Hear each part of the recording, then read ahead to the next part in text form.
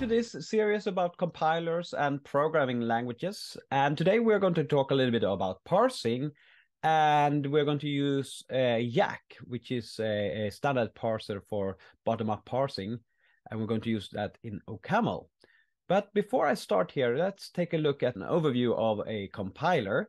So a standard compiler, as we know, consists of a front end, an analysis, uh, the optimizer, and backend typically.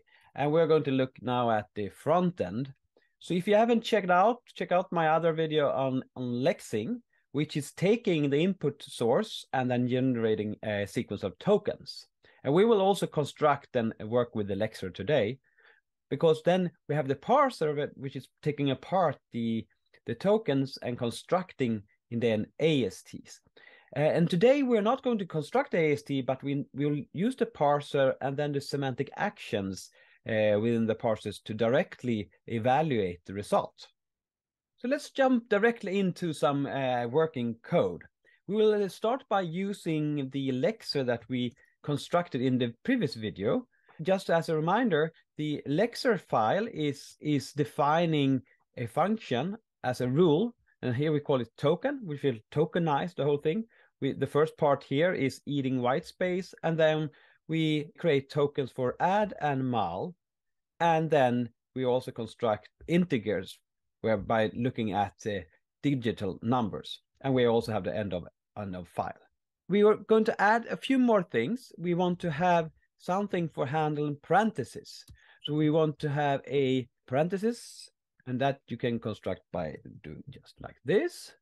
What we want to construct here is some things called parentheses. We can just call it L paren, which then construct a left parenthesis. Uh, we can do the same thing with a right parenthesis. That is basically about it. We don't want to do so much more work with the lexer. Instead, we want to construct a parser. And the parser will be in a separate file. And to, for the lexer to be able to reach the file, we need to open it up. So we open parser. And in our previous video, we constructed a separate file for the for the tokens. We don't have to do that now because in the parser, there is a special syntax to construct the tokens. And then the, the parser generator will automatically construct the data constructor for, for that. We just write open parser. And this means that we need to have a file called parser.mly.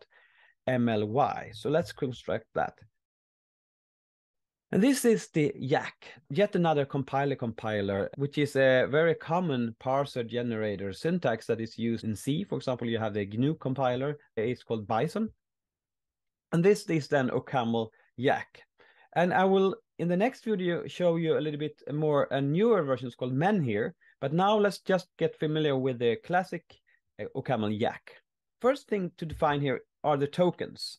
We can call this first token int like this. So we have an integer token, and this means that it will store a value int. This is where we will store it. So it's the same thing as, as, as a data constructor, basically, with one extra value. And then we have the tokens for add and mul. We can just write it on the same line. We have L paren, R parens for right left parentheses. And then we have end of file. Then we need to state what is the start production in this file. Let's call the start production that we were going to use main.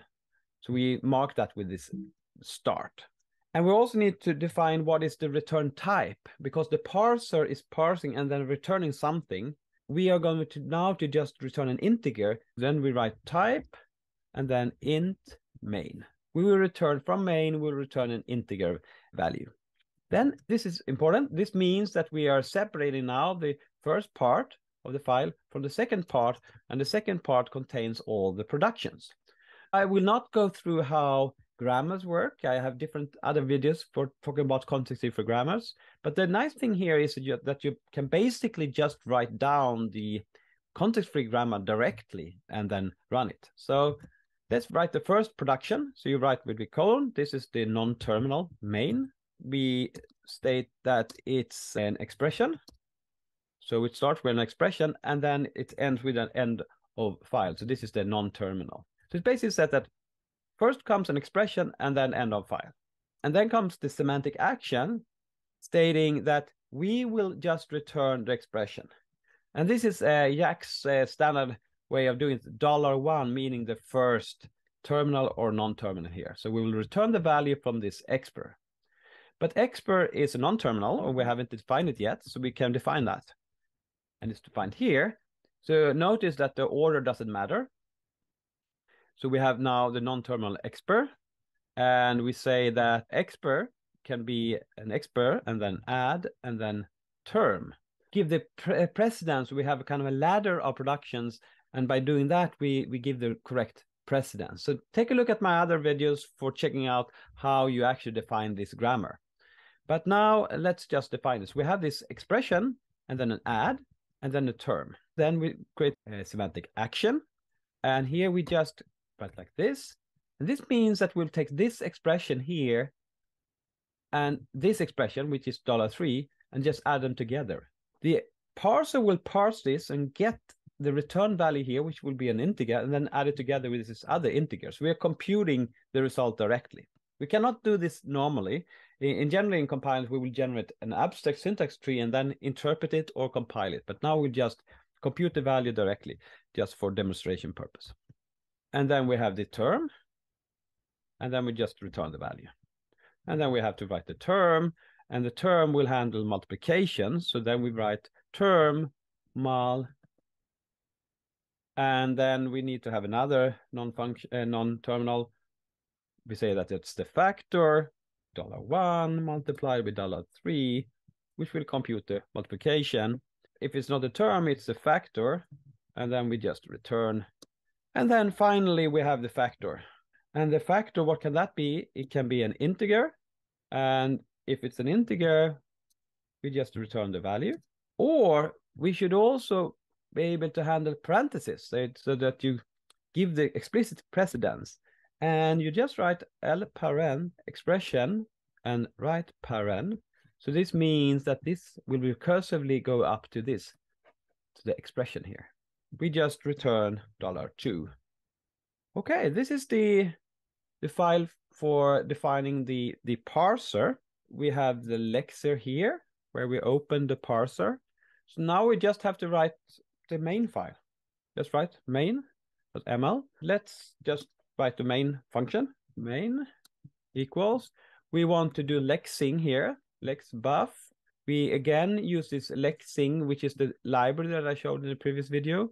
Uh, instead of doing it from a, a string, let's do it directly from the standard input instead. And then you use this from channel, and then you write from which channel standard in. And here you can, of course, specify another channel It could be a file, so you're reading from a file directly. Well, let's use just standard input. That's the lex lexer. So then we get the lex buffer, which will be the state of the lexer. Then we want to do the computer result. Let's just call the result for res. And then we call the parser main. So now parser.main, parser is the function main is the function in the parser that we generated. Why, why called main? Well, if you look at the parser file here, mly, we constructed this, said that this the entry point was main. So when this domain-specific language, the Yacc file, will be compiled to an OCaml file, it will generate a function called main. And this is what we call here. We call that parser dot main. And that file takes as input the Lexer token, so remember that token is the function also generated from the lexer. So it takes the higher order function token as input and then the lex buff that we just defined over here. What to do now? We have the result, which is an integer. And why is it an integer? Well, it's because the parser returned this integer here from computing the result. So we can just print it. Print f and then writes result colon, and then just print it out, and then the rest. Okay, that's it. And then we can compile it. OCaml build, and then uh, main.native. We have just compiled it, and it works. Let's say that we want to compute the following. Uh, we write echo, and then say 1 plus 2. And then we pipe that into our new program, main native and that looks good. So let's do something else. let's do it like this. So now it should check, have the correct precedence here. So it should do two multiplied by four before it do plus one. So it should be nine and it works. But if we put parentheses around here, it should first compute this one plus three, one plus two becomes three times four is 12. Yes, it works as well. So we have a complete parser and a small calculator, which supports multiplication and addition, and it can also support uh, parentheses and precedence. So in the next video, I will introduce uh, Menhir, which got some other nice features, and also show you how you can write this grammar that we have here in a bit simpler forms. You don't have to give the precedence by show, giving different non-terminals. There are some direct support in Menhir and also in OCaml yacc. So stay tuned and check out my next video. Thank you. If you like this video, please subscribe and add a comment and tell me more about what you want to learn about compilers and programming languages.